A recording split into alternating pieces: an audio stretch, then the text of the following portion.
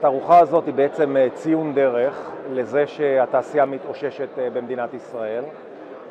ענף היהלומים העולמי סבל בשנים האחרונות מירידה, אבל הדבר החשוב הוא שהבורסה כאן השקיעה הרבה מאוד כסף, הרבה מאוד מאמצים, כדי להביא מאות קניינים מרחבי העולם, להביא אותם לפה, למקור, כדי שיקנו כאן את היהלומים, בלי כל הפערים של התיווך. ישראל תמיד הייתה אחד המרכזים הגדולים בעולם. הנקודה היא שכיום בעצם הענף הישראלי יש לו התמחות בכמה סוגים של יהלומים שאין את זה בשום מקום אחר בעולם ולכן אנחנו מביאים את הקניינים שהם ספציפיים מתאימים לענף הזה.